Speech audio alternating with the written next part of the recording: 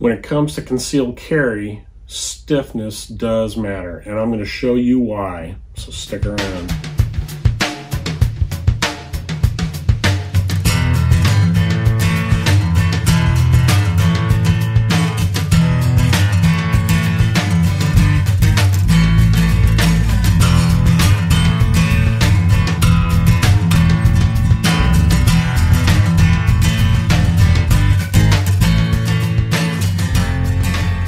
Hey guys, welcome back to the channel.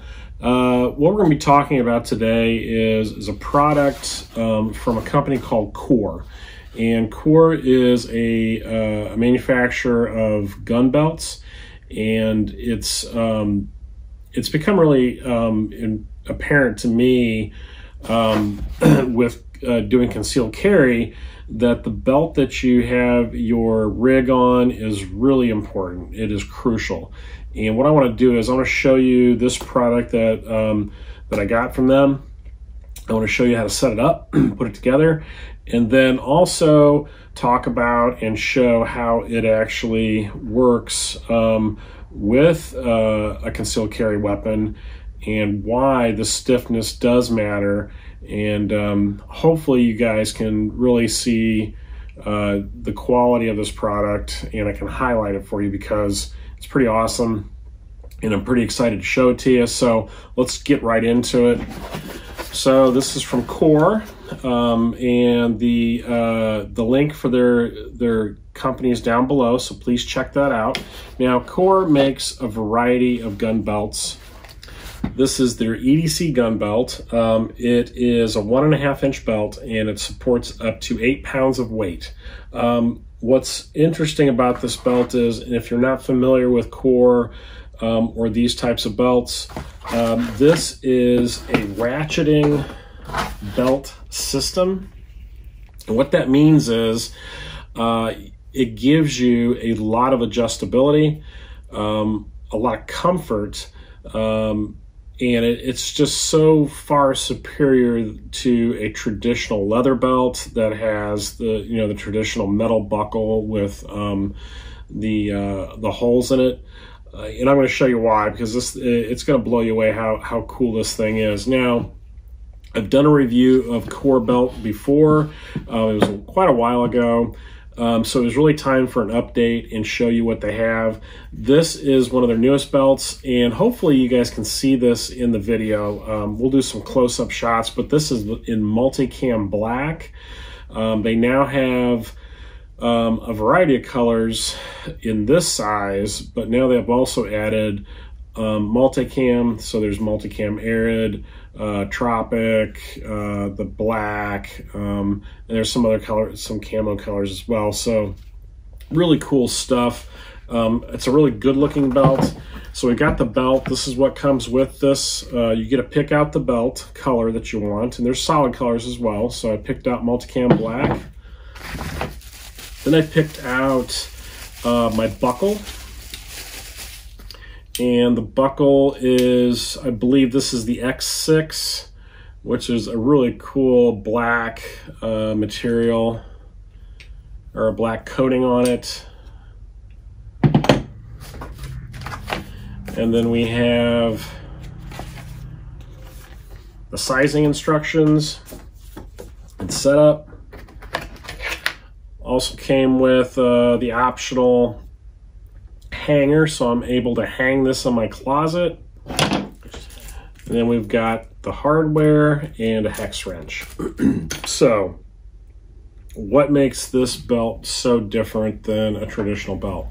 Well, the first thing is you don't have to order a very specific size, and that is one of the, the huge benefits of these types of belts. Um, from Kore is that uh, it is a one size that you fit to yourself and then once you fit it you still have plenty of adjustment. So if you lose a little weight you gain a little weight uh, maybe you don't want to wear the belt so tightly because you're not carrying a weapon at that time um, you can do that. And you can't do that with a traditional leather belt because you're always stuck with just a, a few adjustments and um, once you outgrow that belt, well, it's time to go to the store and buy a new one.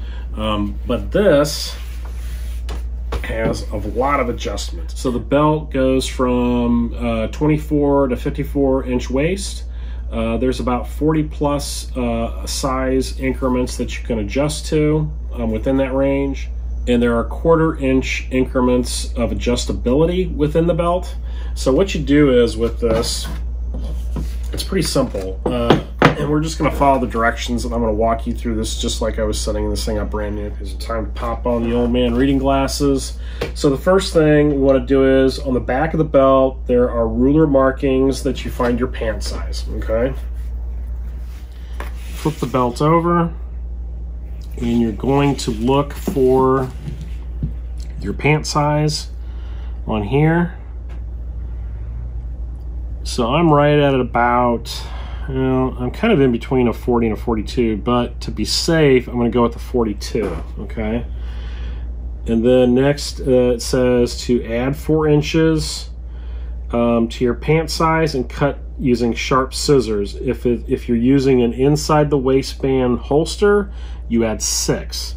So if I'm adding four to that 42, it's around 43, 44, 45, it's going to take me up to 46. Now that seems like a lot to me, um, but it says in the directions, for example, if your your pant size is a 34, cut the belt at the mark at 38. So to be safe, we're going to follow the directions. That's going I'm going to cut it to 46, and it says to use sharp scissors. So I'm going to cut the belt. Now I think I should have used my EMT shears. These are not quite cutting it. Ha ha ha ha ha. All right, hang on. Try the EMT shears. That's a little bit easier. Boom. Okay. So it says gently loosen the screws with the included hex wrench.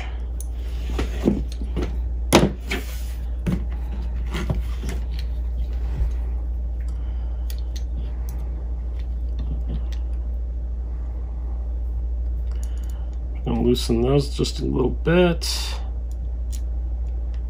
Okay. Insert the cut end of the belt into the buckle teeth and clamp down firmly. Okay, so you see that. I've loosened the screws and there is this little mechanism right here and as you can see when you flip that open there are teeth in there so it says to insert the belt, the cut end into this.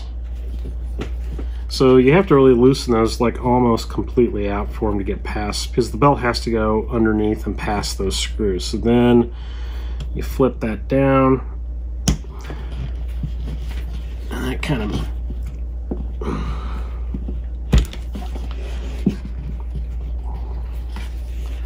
make sure you get, you get the belt firmly um, pressed into the buckle when you're um, clamping it down because when you clamp it down it's going to have a tendency to shift back just a little bit. There we go. And you're going to want the um, belt to extend about three to four inches beyond um, your first belt loop. That's what they're saying. So okay there it is. It's all set up. Pretty easy. Got it cut to my size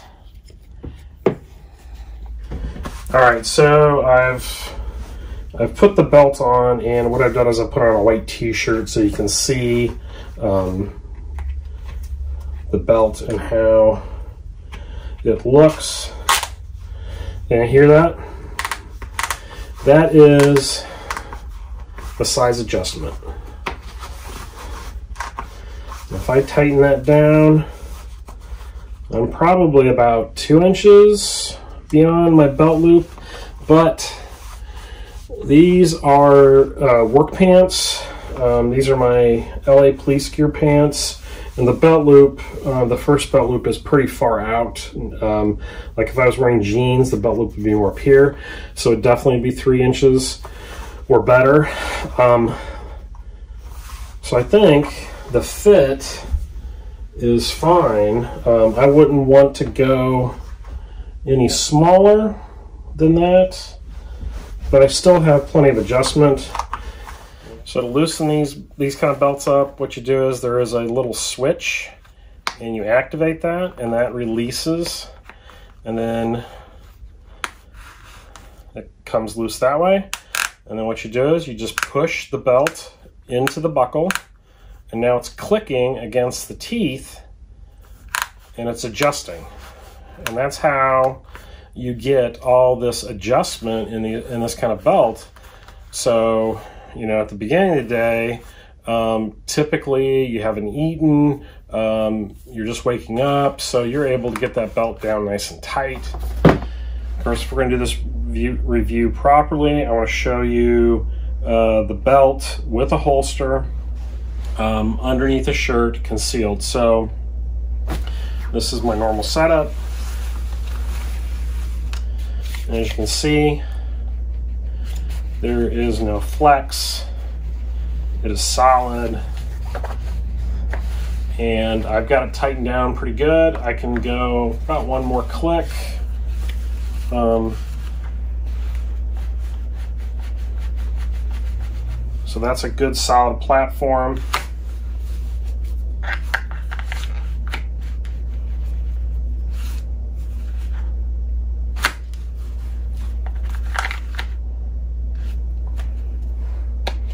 Gun stays where it's supposed to.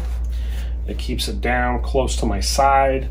It's, it's pulled in nicely, it's not flopping out. And that way the weapon is not printing underneath my shirt terribly. Um, so definitely a good belt um, is a necessity. All right, so that is how to set up the Kore belt. That's how it looks when it's on. Um, that's how it adjusts. So all pretty simple stuff, nothing too complex. So now why, why is the Kore belt different um, than other belts and why is it good for concealed carry? Well, so, um, you know, when you start carrying, you quickly realize that the belt um, becomes really critical. And if you've ever started carrying and then you start off with um, your normal leather EDC belt that you've always worn, you quickly realize that it is not good enough. Um, and the reasoning is because with a holster, of course, there is weight. And then if you are drawing from that holster, that belt has to be rock solid. Um, it has to be a rock solid platform that is not going to flex or move in any way. It needs to become part of you. So when you do um, uh, pull your weapon and then reholster, that holster stays where it's supposed to be and it's not moving around. So with this particular belt and with Kore all Kore belts, um, stiffness um, is a big deal. Um, and they do a really good job with these things. Um, like I said, it holds uh, this particular model holds up to eight inches, or excuse me, this particular model holds eight pounds of weight. Um, that is way more um, than I'm going to ever carry um, concealed. So there are other belts in their lineup that move up in size and also will hold more weight if that is more of concern. And they go all the way up to a, a gun platform, um, kind of almost like a duty belt. Um, it's bigger, it has uh, MOLLE and things like that on it, so you can attach pouches and things. So more of a range belt, I guess I would call it. Um, but this particular model, the gun belt, is truly an EDC belt. This is something you're gonna wear every day. Um, so just off the bat, you know, I've got um, my concealed uh, weapon on here. This is the Canik um, subcompact um, with the Canik holster. And as you can see, uh, just holding it like this, um, it's not flexing, it's not drooping, um, it's not falling down. Uh, it's supporting the weight of that pistol in the holster and that's a fully loaded uh, magazine. Um, so that's full weight um, and it's holding it perfectly. So when I put this on me, it's going to stay where it's supposed to. And that's really, uh, it's key. It's critical. Um, is you, you don't want that thing flopping out um, from your waist because that's going to um, print Uh, people are going to be able to see it easier on you if it if it moves away from your body. You really want it snugged up against you, and you want it to be in the position that you put it in. So when you do have to draw, it is there. Um, you are not guessing. You're not fumbling around. And these Kore belts are fantastic. Now you can see there there is flexibility with the belt. I mean, the belt is not hard in any um, in any way. This it's still comfortable. It's still going to conform to my body, but when I get it on, when I put the holster on it, it's rock solid. Um, it stays where it's supposed to, and that's why I love these belts. Um, and I love the ratcheting system. Um, they are fantastic. They they are so far superior to a normal, um, you know, belt that you buy at Walmart or whatever. I mean, it, even if you don't carry a weapon every day, um, if you do carry things like um, a Leatherman um, or a pocket knife attached to your belt or flashlight or maybe some kind of other tool, um, these belts are fantastic. Um, if you are working in the service industry, uh, they are very comfortable um, because you can adjust them as you need. Uh, you don't always have to have them tightened down. You can loosen them up if you need to. So, you know, for I think this belt runs are like right around $39.99. Um, that's a fantastic price, I think, for a belt that's going to last a really long time. It's a very quality item. So I'm really happy with mine. Um, I've been happy with them in the past. Uh, uh, definitely check them out. Such a cool looking belt. I really dig it. So on the Kore website and I just want to show you all the different products they have on here. I mean there's a lot of stuff. So we've got wallets, there's key rings, there's the belt hanger that I got.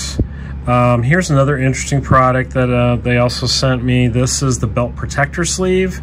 So what that does is if you want to put that um, in an area where you're putting a, a holster all the time, it'll protect the belt. Course, the trucker cap, which I'm wearing uh, today for the video.